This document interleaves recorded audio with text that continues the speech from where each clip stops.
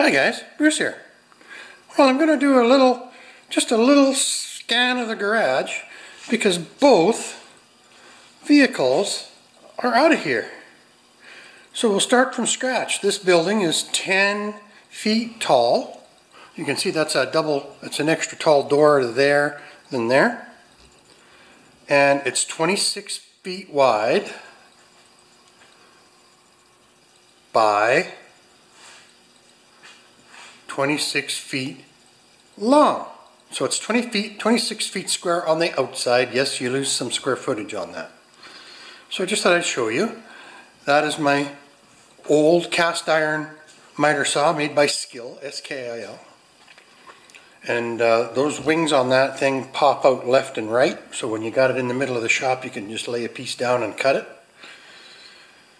Uh, big box of long stuff down there. That is um, like my big torque wrench, um, hammer puller, nails pullers, chains, right? That's actually a creeper for going under cars. It's called a uh, bonester. And just man stuff on the wall. Each little thing has a story, right? There's my two projects that I got on the go right now.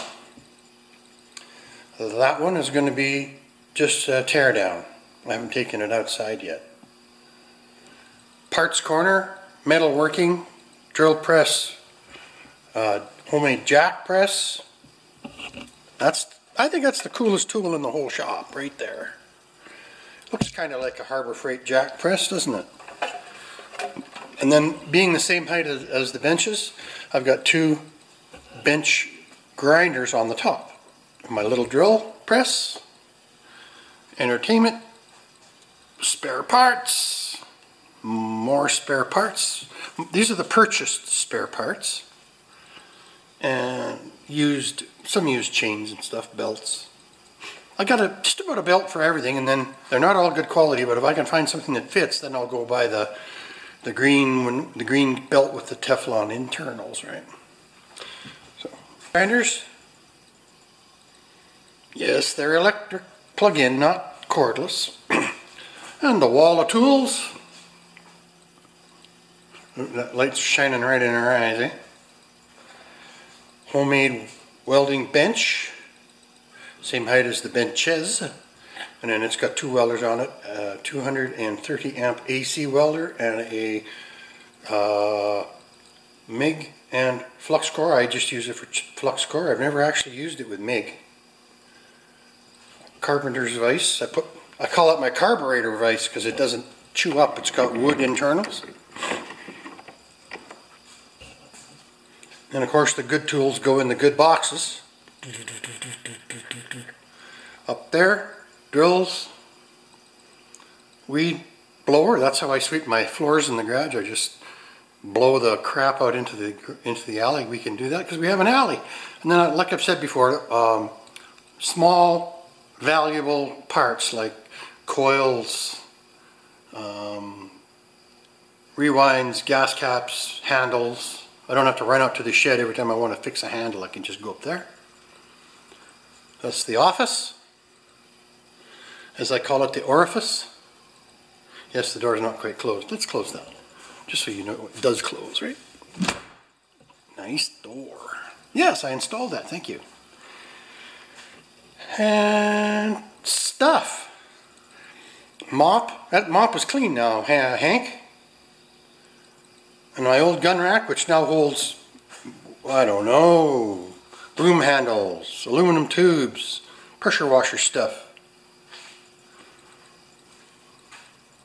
And the kids need a brand new pair of shoes. Even golf clubs out here.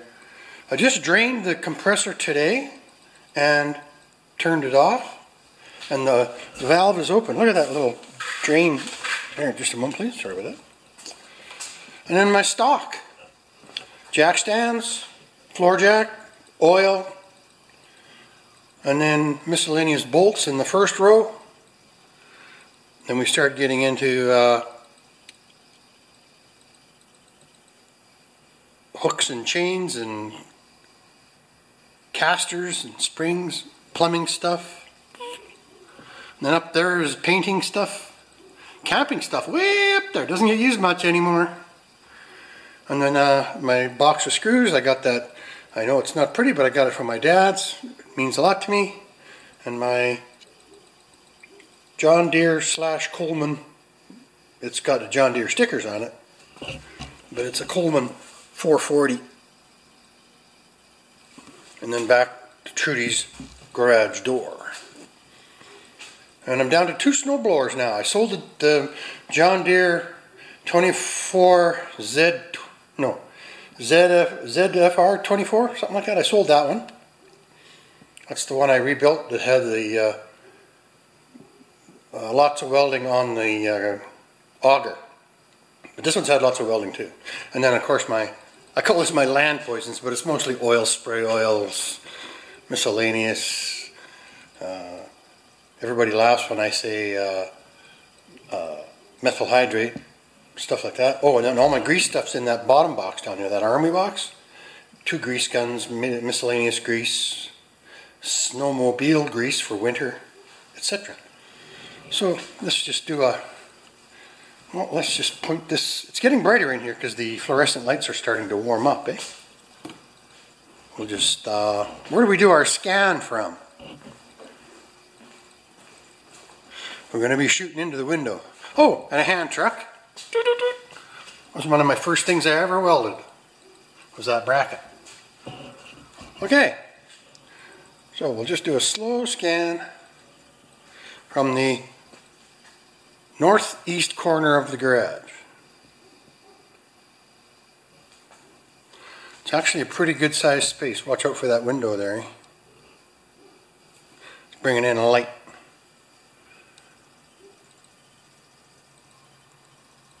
I'll give you another perspective. We'll do it from back over here by the entry door.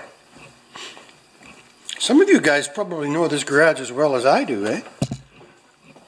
So because it's uh, it's on a grade beam, they've got three stairs coming into the door, and uh, so the wall, the two by the, the actual garage material is for an eight foot wall. So that over there is an eight foot wall from there up. I've got some hanging storage. So let's just do a, a slow scan from this end. As you guys know, I love it in here.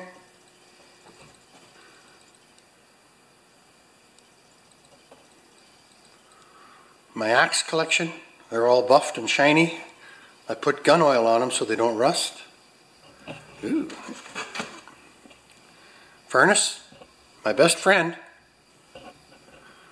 Keeps me warm when it's 25 below out there. And then of course my toolboxes. Full of all the same stuff you guys have, right? And I went and I labeled them all this year. Right? Sockets, ratchet extensions, knives, testers, carb cleaning kits, small engine tools, air tools, soaps, funnels, containers, Up here is the big, the big sockets.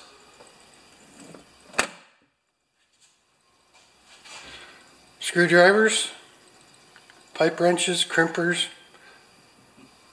metric wrenches, miscellaneous hammers. That's always a fun one, eh?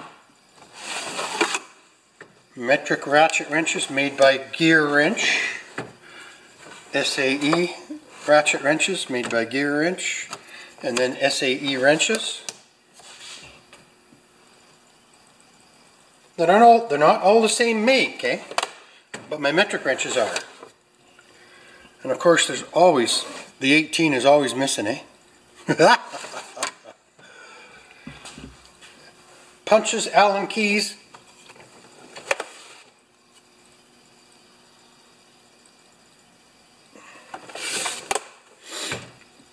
what's this one? Pliers.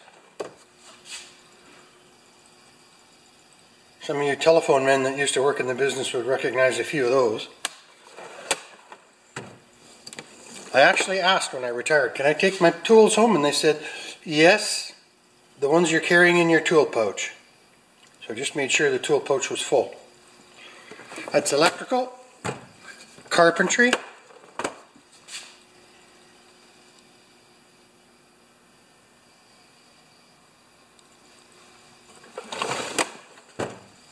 automotive,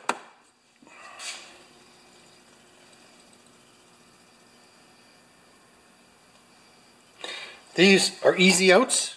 They could be up with the punches. And then this is left-handed drill bits in here. I finally got a set of left-handed drill bits. And then large hand tools. And this drawer is getting really heavy. That's a swage tool for uh, doing the crimps on the lawnmower cables.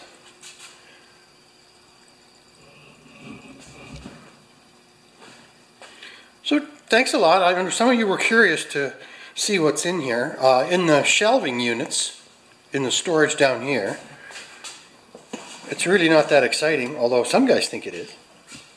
It's mostly carburetors and, a, and my uh, ultrasonic cleaner.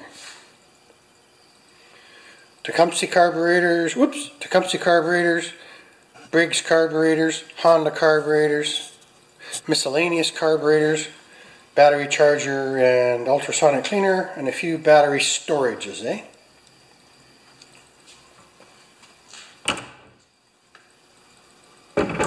And then underneath this cupboard, if I can get in there, maybe I can, maybe I can't, is my big electrical tools. It's get pretty dark down there.